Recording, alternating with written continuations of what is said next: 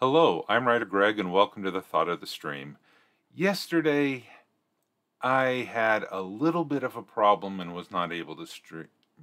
If you can see this image right here, this is actually a segment of internet cable, and I actually have it right here. And you can see, you know, very, very little detail problems here. But if you zoom in close enough and take enough of a picture, you can see where there was a about a millimeter of copper wire that was chewed away by a pet rabbit.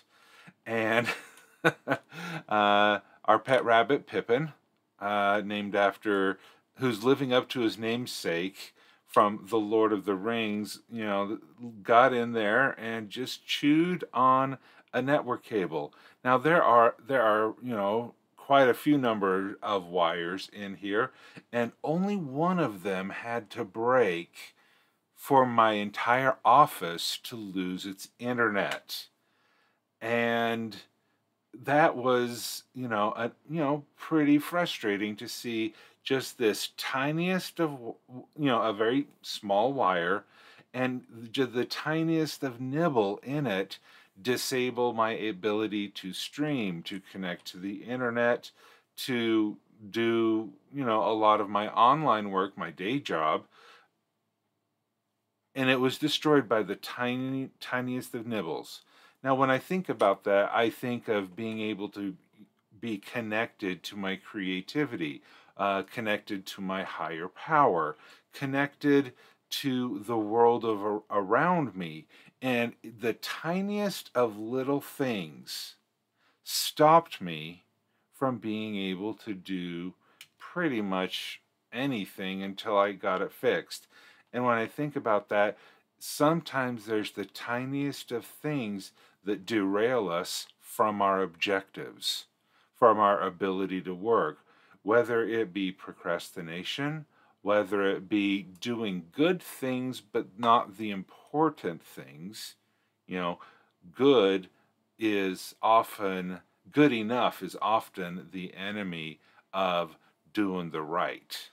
And so this was just an example of what we can do that we need to go through we need to check our internal cables we need to see what is blocking us from making progress on our goals and fix it.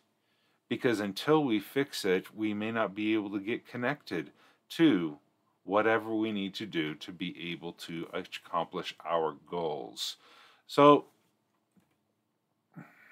so there we go. That is the thought of the stream. I hope that you are able to find the things in your life that are blocking your progress, your connection to your creativity, to your higher power, and be able to make progress.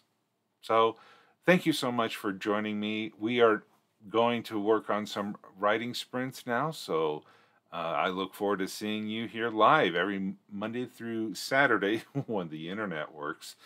Every Monday through Saturday as we do uh, morning marches at 7 a.m. Eastern Daylight Time, uh, UTC minus four, I think that is. All right, so thank you so much. Have a great day and keep on writing.